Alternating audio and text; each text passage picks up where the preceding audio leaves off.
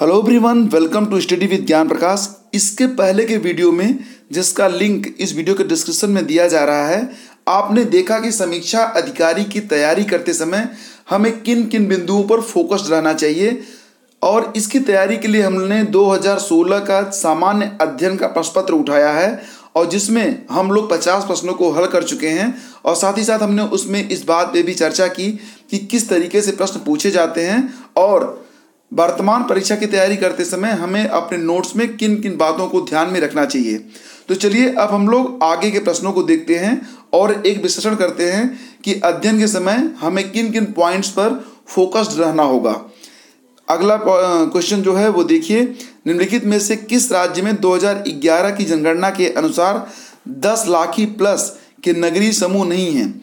Friends मैंने आपसे पहले भी बताया कि 2011 की जनगणना भले ही लगभग पुरानी हो चुकी है, कुल मिला के छः से सात साल, लेकिन फिर भी वर्तमान में जो भी परीक्षाएँ हो रही हैं खास तौर से लोक सेवा आयोग के द्वारा, वो सारी परीक्षाओं में जनगणना से प्रश्न और जनगणना से संबंधित बिंदु पूछे जाते हैं।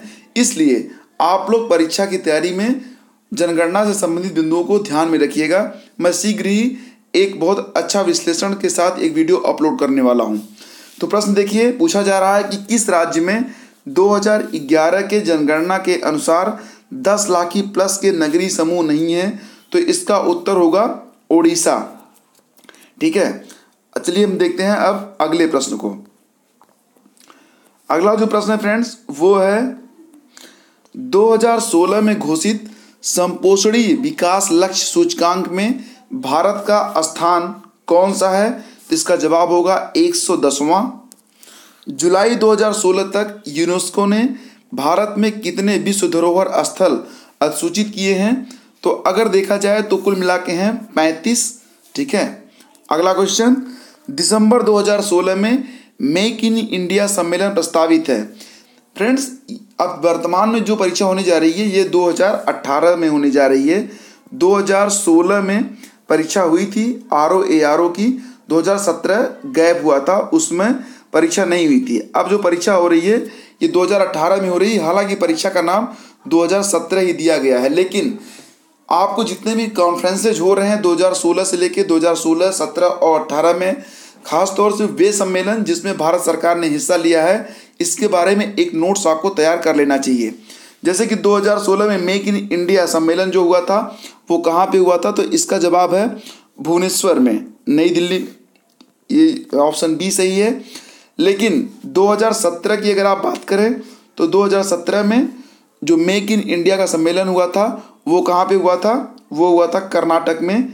ये बात भी आपको ध्यान में रखनी होगी। इस तरीके से जितने भी सम्मेलन हैं, उसको आप अवश्य ध्यान में रखें। एक एक प्रश्न बहुत कीमती है कंपटीशन बहुत टफ है।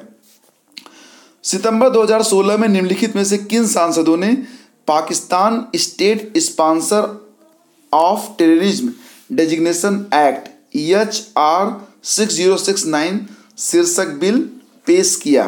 तो इसका जवाब है टेड पो एवं डाना रोरा बाखर वर्तमान में यह प्रासंगिक तो नहीं है, लेकिन फिर भी आपको ध्यान में रखना चाहिए कि वर्तमान में कौन कौन सी अंतर्राष्ट्रीय घटनाएँ इस तरीके से हैं जो पूरी दुनिया को प्रभावित करती हैं। देखिए, जब भी आप अखबार पढ़िए तो खास तौर से आप उन बिंदुओं को अवश्य ध्यान में रखिए, जिससे हमारे अंतर्राष्ट्रीय जो संबंध है, विदेश संबंध है, या दक्षिण एशिया पर उसका कोई गंभीर प्रभाव पड़ता है। भले ही वह घटना भारत से कहीं दूर भले हो रही हो, ठीक है? अखबार कैसे पढ़ा जाता है? इसके बारे में हमने एक वीडियो बनाया है। अगर आपने अभी तक नहीं देखा है तो उसका लिंक भी इस वीडियो के डिस्क्रिप्शन में आपको मिल जाएगा। 11 सितंबर 2016 को संयुक्त राष्ट्र महासभा के अध्यक्ष ने निम्नलिखित में से किससे संबंधित स्वास्थ्य समस्याओं पर एक उच्च स्तरीय बैठक आहूत की। तो उस समय प्रति सूक्ष्म जीवी प्रतिरोध पर एक उच्च स्तरीय बैठक बुलाई गई थी इक्कीस सितंबर 2016 को यूएनओ संयुक्त राष्ट्र महासभा के अध्यक्ष के द्वारा। नेक्स्ट, ये करंट अफेयर्स का सवाल था। अगला देखिए, उत्तर प्रदेश के निम्नलिखित में से किस मंडल में प्रथम समाजवादी अभिनव विद्यालय खोला गया है।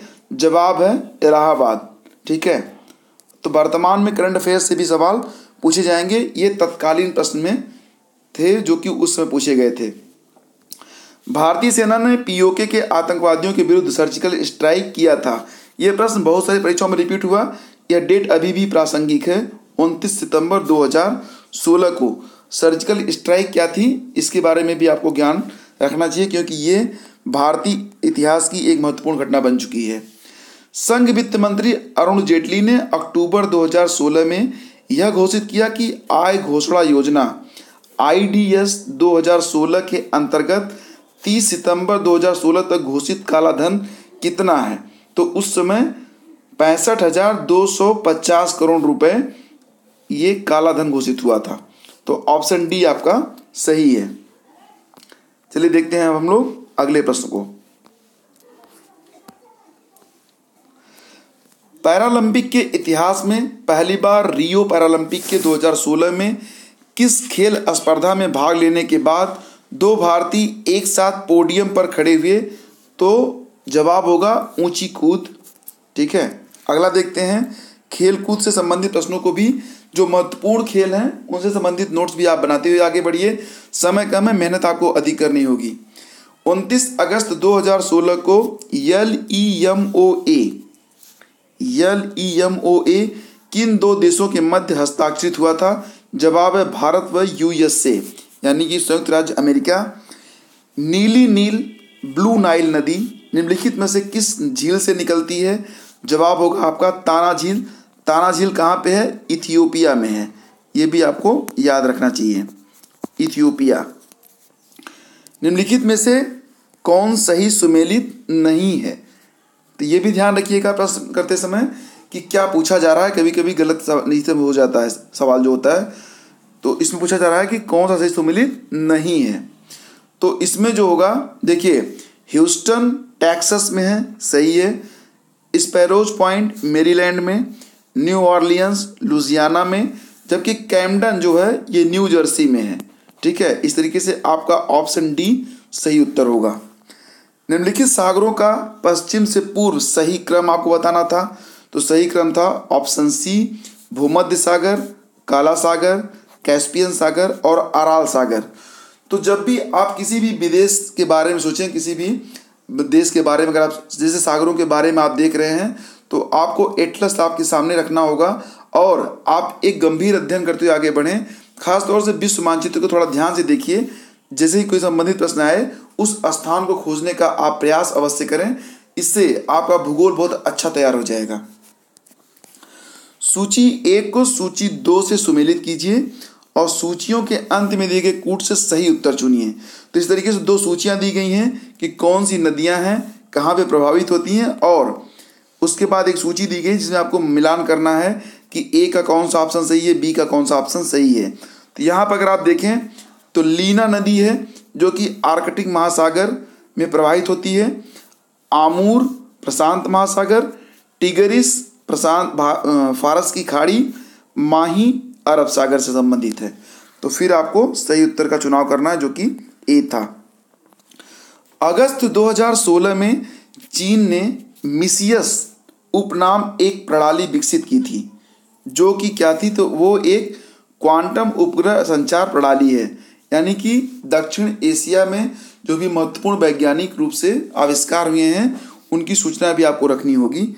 जब भी कोई समाचार पत्र पढ़िए आप तो खास तौर से विदेशों से संबंधित इस तरीके के प्रश्नों पर आप थोड़ा फोकस्ड रहिए। और कोशिश कीजिए कि कम से कम एक समय आप रेडियो अवश्य सुने। यानी कि ए आई आर का जो न्यूज़ आता है, वो कम से कम सुबह या शाम को या दोपहर को सुनने की आदत डाल लीजिए। निम्नलिखित सभ्यताओं का उत्तर से दक्षिण का सही क्रम क्या है? तो माया, उसके बाद एस्टेक, फिर मुस्का, उसके बाद इंका। ऑप्शन ए आपका सही है। जनसंख्या वृद्धि के स्वरूप को एक दीर्घ कालावधि में घटित क्रमिक परिवर्तन को कहते हैं जनांकीय संक्रमण। ठीक है? करीबाबाद कहाँ स्थित है? तो ये जाम्बेजी नदी पर स्थित है। भारतीय वन सर्वेक्षण रिपोर्ट के अनुसार भारत के निम्नलिखित में से किस राज्य में भौगोलिक क्षेत्र का सर्वाधिक प्रतिशत वन क्षेत्र स्थित है? मतलब भारत में किस राज्य में सबसे अधिक वन क्षेत्र है? जवाब होगा मिजोरम। कोयला मंत्रालय की रिपोर्ट के अनुसार एक अप्रैल 2014 को निम्नलिखित राज्यों के प्रमाणित कोयला भंडार की दृष्टि से सही अवरोही क्रम अवरोही क्रम वो होता है जिसमें छोटे से बड़े को अरेंज किया जाता है। आरोही क्रम में बड़े से छोटे की तरफ़ बढ़ा जाता है, ठीक है? तो इस तरीके से अगर देखा जाए तो आपका विकल्प सी झारखंड, छत्तीसगढ़, ओडिशा और मध्य प्रदेश स्थित है। झारखंड में सबसे ज़्यादा, फिर छत्तीसगढ़, फिर उड़ीसा फिर मध्य प्रदेश। इस तरीके से। निम्नलिखित कथनों पर विचार कीजिए। प्राकृतिक साधन वे होते हैं जो किसी क्षेत्र में स्थित हैं तथा भविष्य में भी प्रयोग में लाए जा सकते हैं। करेक्ट। किसी वास्तविक प्राकृतिक संसाधन का विकास, प्रौद्योगिकी एवं उत्पादन लागत पर निर्भर होता है, गलत। कोई भी जो प्राकृतिक संसाधन होता है वह स्वयं से विकसित होता है, ठीक है? किसी वास्तविक प्राकृतिक संसाधन का विकास तो इसमें से आपका क्या होगा? ए सही है, किंतु आर गलत होगा। अपनी पुस्तक इंट्रोड्यूसिंग कल्चरल ज्योग्राफी में जेई स्पेंसर एवं डब्ल्यू एल टॉमस ने विश्व को कितने सांस्कृतिक विश्व में विभाजित किया है? जवाब है ग्यारह। इंट्रोड्यूसिंग कल्चरल ज्योग्राफी एक बुक है, जो कि 1973 में प्रकाशित हुई थी। चलिए अगला प्रश्न देखते हैं। निम्नलिखित में कौन जैविक संसाधन नहीं है? जैविक संसाधन वे संसाधन होते हैं जो कि ऊर्जा के लिए प्रयोग में लाए जाते हैं। तो इसमें शुद्ध जल, ये जैविक संसाधन नहीं है। इसके अतिरिक्त कोयला, पेट्रोलियम और जो मछली होती है, ये भी जीव है और ये भी जैविक संसाधन में आती है। राष्ट्रीय वन नीति उन्नीस सौ बावन के अनुसार निम्नलिखित में से कौन सा वन का संवर्ग नहीं है? तो इसमें जो राष्ट्रीय उद्यान होते हैं उनकी गणना वनों में नहीं की जाती है। उसके अलावा राष्ट्रीय वन, संरक्षित वन और ग्राम वन, ये वन संवर्ग में आते हैं। पर्यावरण मंत्रालय द्वारा जारी किए गए Indian State of Forest Report 2015 Indian State of Forest Report 2015 के अनुसार भारत के पूरे भौगोलिक क्षेत्र का कितना प्रतिशत क्षेत्र वनों और पेड़ों से आच्छादित है? तो जवाब है आपका चौबीस दशमलव एक छ प्रतिशत। फ्रेंड्स, स्वच्छ जलवायु के लिए ये माना जाता है कि किसी भी क्षेत्र का कम से कम तैंतीस प्रतिशत जो क्षेत्र हो, वो वनों से ढका हुआ होना चाहिए। इस तरीके से ये अभी क्षेत्रफल थोड़ा सा कम है, अनुपात में देखा जाए तो। निम्नलिखित राष्ट्रीय उद्यानों सर्वप्रथम से सबसे बाद के कालक्रम के अनुसार व्यवस्थित कीजिए और पार्क के नीचे दिए गए कूट से सही उत्तर चुनिए। सवाल को जब भी आए आपके सामने, उसको ध्यान से और धैर्य रखना आप सीखिए, ठीक है? तो इसमें दिया गया है राष्ट्रीय उद्यानों में से सबसे बाद के कार्यक्रम के अनुसार व्यवस्थित कीजिए। और पार्क के नीचे दिए गए कूट में से सही उत्तर चुनिए, ठीक है? तो अगर आप इसको देखें तो मैं आपको बता देता हूँ साइलेंट वैली ये अट्ठारह में इसकी खोज की गई थी। ये प्राकृतिक वैली है। जिम कार्बेट पार्क, ये 1936 में स्थापित किया गया। काजीरंगा ये काजीरंगा 1905 में स्थापित हुआ था और कान्हा नेशनल पार्क 1935 में स्थापित किया गया था। अगर इस आधार पे आप देखें तो आपका ऑप्शन डी सही माना जाएगा। ठीक है? चलिए, अब हम लोग आगे देखते हैं। यूपी में 2011 की भारत की जनगणना के अनुसार साक्षरता दर कितनी है? तो इसका सही जवाब है sixty seven point six eight percent ठीक है? अगला क्वेश्चन देखिए। भारत के समस्त राज्यों के क्षेत्रफल के अनुसार उत्तर प्रदेश का स्थान क्या है? तो देखिए, इसमें जो ऑप्शंस दिए गए हैं, उसके अनुसार चौथा विकल्प सही होना चाहिए। लेकिन अगर आप क्षेत्रफल के अनुसार देखें तो सबसे बड़ा जो राज्य है, वो है भारत में। राजस्थान। राजस्थान के बाद फिर इसका स्थान आता है मध्य प्रदेश का, उसके बाद महाराष्ट्र का, फिर आंध्र प्रदेश और तब यूपी का स्थान है। यानी कि वास्तव में अगर देखा जाए तो ये पाँचवें स्थान पे आता है। लेकिन इसमें कोई भी विकल्प सही नहीं था, इसलिए चौथे को हम सही मान लेते हैं। किस वर्ष भारतेंदु नाट्य अकादमी की स्थापना हुई? तो भारतेंदु नाट्य अकादमी की स्थापना हुई थी 1975 में। नेक्स्ट किस स्थान को सितार और सुरबहार संगीत के इमदाद खानी घराना के लिए जाना जाता है?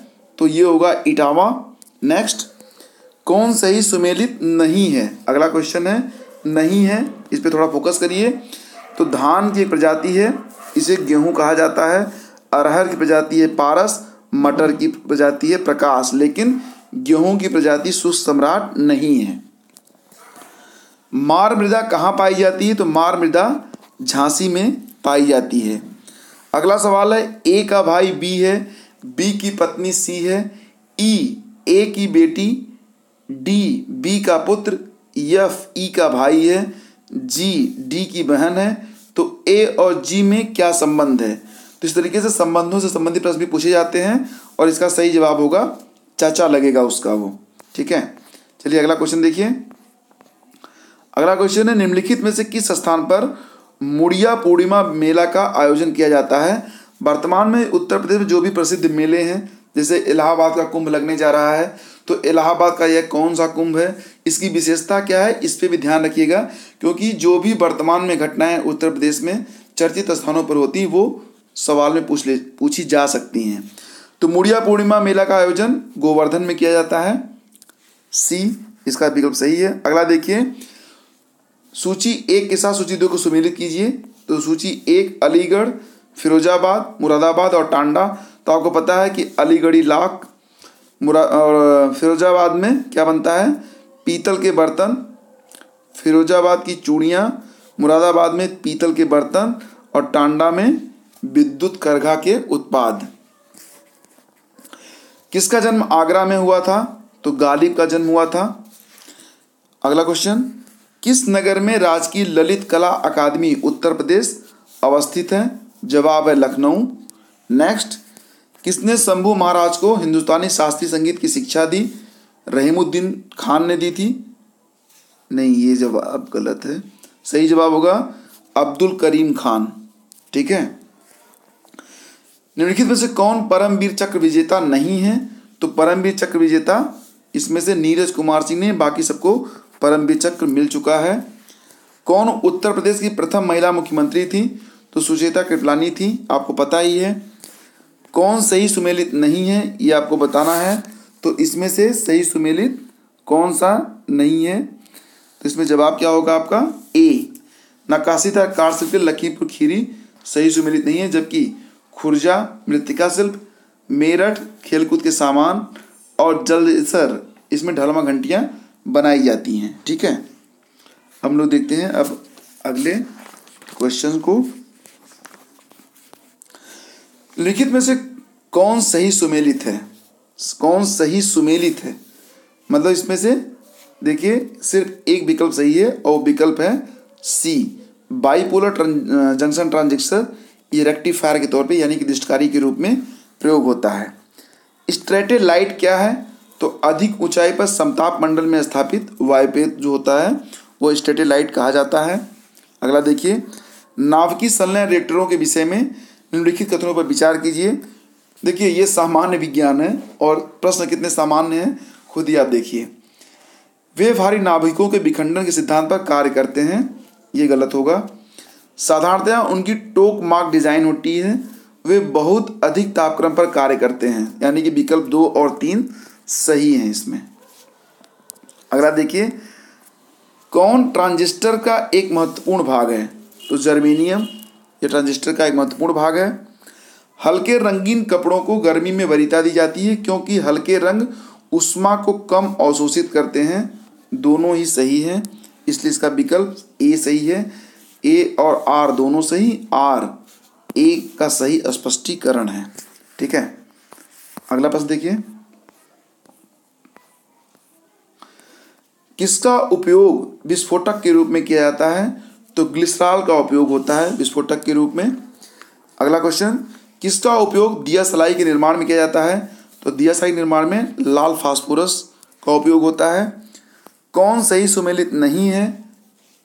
मतलब कि बाकी सब सही सुमेलित हैं। स्व प्रतिरक्षित रोग है, संधिवात संधिशोध पामा रोग, चिचड़ी से, मानसिक रोग मनोविदलता आनुवंशिक रोग, क्षय रोग नहीं है। सांप के जहरीले विषदंत होते हैं, रूपांतरित होते हैं किसके? जंभिका दंत। यानी उनकी जीभ जो होती है, वो दांत के रूप में, दांत के रूप में मतलब परिवर्तित हो जाती है। हालाँकि ऐसा होता नहीं है, ये सिर्फ़ कहा जाता है। जिससे ये माना जाता है कि जो कैक्टस के कांटे होते हैं, वो पत्तियों का रूपांतरण होते हैं, लेकिन मूल रूप में ऐसा नहीं होता। साइंस जो कहता है, उसे में मानना पड़ता है। मच्छरों के बारे में निम्नलिखित कथनों पर विचार कीजिए। केवल नर रक्त चूसते हैं, केवल मादा रक्त चूसती है, मादा पौधों का रस चूसती है, मादा की अपेक्षा नर के डैने बड़े होते हैं, नर की अपेक्षा मादा के डैने बड़े होते हैं।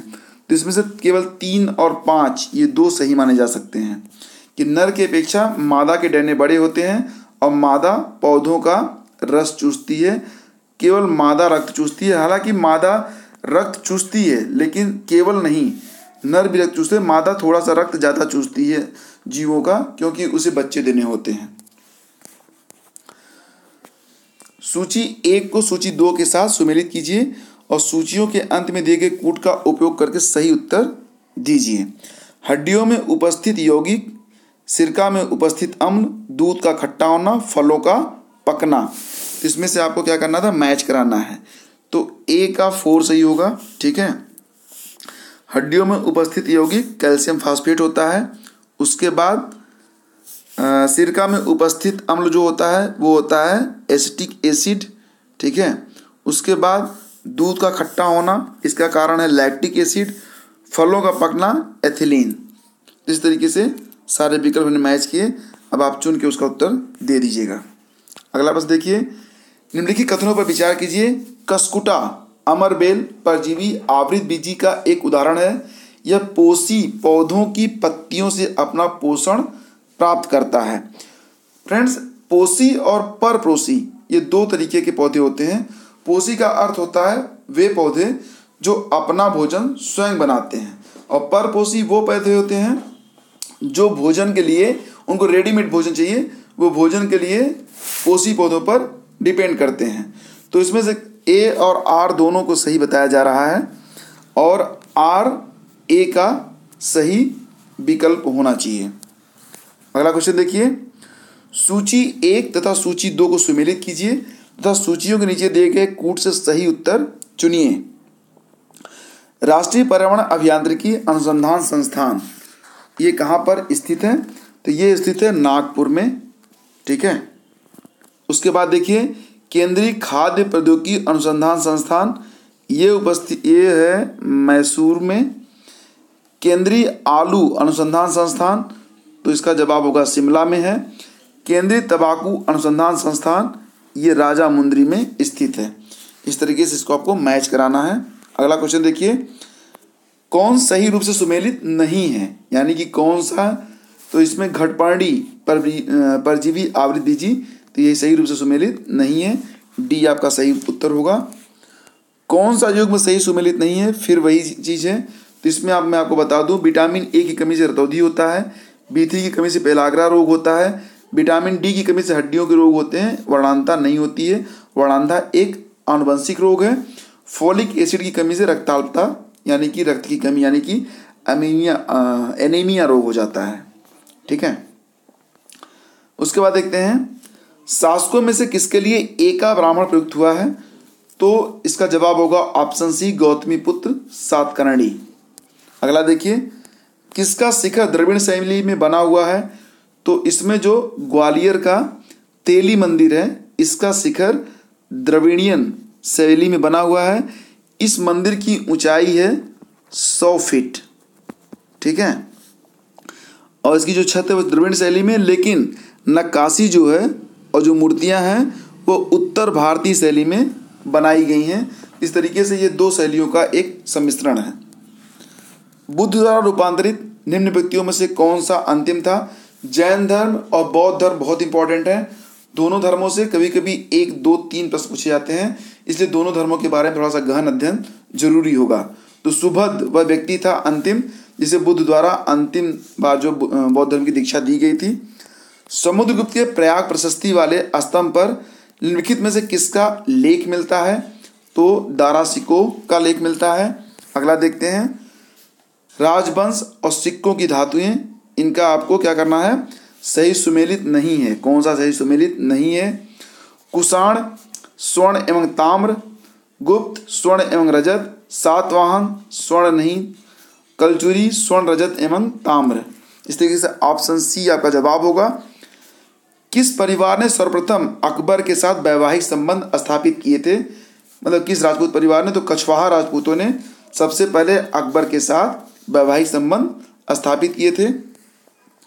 कौन सी इल्तुतमिश के राजकाल में सल्तनत की राजधानी थी? जवाब होगा डी, दिल्ली। कौन सा बर्ड फ्लू का कारक है? तो एच फाइव एन वन। ठीक है। अगले अगला प्रश्न देखिए। कौन राजा मोहम्मद गोरी द्वारा चंदावर के युद्ध में पराजित किया गया था? तो ऑप्शन बी, जयचंद। हालाँकि ग्यारह सौ इक्यानवे में तराइन का पहला युद्ध हुआ और इस युद्ध में तराइन का प्रथम युद्ध। ठीक है, इस युद्ध में मोहम्मद गोरी को पृथ्वीराज चौहान ने हरा दिया था। अगले साल बानवे में, ग्यारह में तराइन का दूसरा युद्ध हुआ। इस युद्ध में पृथ्वीराज चौहान मारा गया। और दिल्ली पर जो कब्जा हो गया था, मोहम्मद गोरी का, कहा जाता है कि जयचंद ने ही मोहम्मद गोरी को आमंत्रित किया था आक्रमण करने के लिए पृथ्वीराज चौहान पर, क्योंकि पृथ्वीराज चौहान ने जयचंद की पुत्री संयुक्ता से ज़बरदस्ती विवाह कर लिया था। लेकिन मोहम्मद गोरी जो था, उसने ग्यारह सौ चौरानवे में फिर से आक्रमण किया और चंदावर के युद्ध में जयचंद ही मारा गया। तो दुश्मन को आमंत्रित करने वाला और गद्दारी करने वाला व्यक्ति भी कभी सुरक्षित नहीं रहता है। इतिहास इसका गवाह है। किसका मकबरा भारत से बाहर स्थित है? तो जहांगीर का मकबरा भारत से बाहर स्थित है और वर्तमान में ये कहाँ पर है? तो वर्तमान में है शाहदरा लाहौर में, ठीक है? शाहदरा लाहौर। याद रखिए। अगला देखते हैं। सूची एक को सूची दो से सुमेलित कीजिए। और सही कूट का चयन कीजिए। तो आप देख रहे हैं कि जब इस तरीके का कोई भी प्रश्न पूछा जाता है तो एक साथ बहुत सारे प्रश्न आपको मैच कराने के लिए दे दिए जाते हैं, ठीक है? तो इसमें जो था, इसमें विकल्प ए आपको सही माना जाएगा। हॉकिंस 1615 से 1619 टामस रो, मनुची, रॉकफिश, ठीक है? अगला देखते हैं।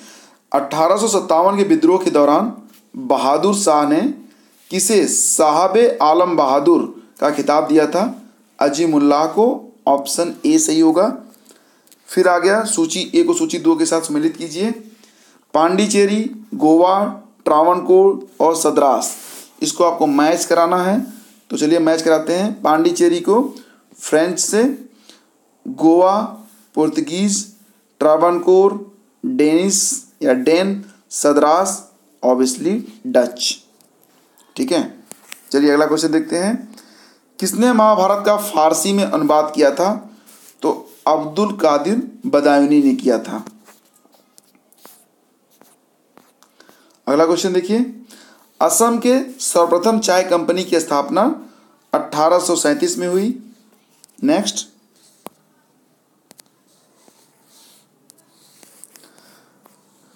निम्नलिखित विवरण पर विचार कीजिए।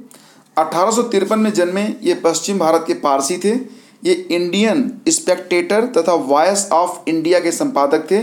ये एक समाज सुधारक थे और सम्मति आयु अधिनियम अठारह के पक्ष में प्रमुख संघर्ष करता थे। तो देखिए, इसमें से बहुत सारे पॉइंट्स हैं, जिसके आधार पे आप दिए गए विकल्पों में से व्यक्ति के बारे में चयन कर सकते हैं। जैसे वॉयस ऑफ़ इंडिया के संपादक कौन थे? तो दादा भाई नौरोजी थे। इस तरीके से आप सही विकल्प का चुनाव कर सकते हैं। जवाहरलाल नेहरू ने दूसरे गोलमेज सम्मेलन 1132 में भारतीय राष्ट्रीय कांग्रेस का प्रतिनिधित्व किया था।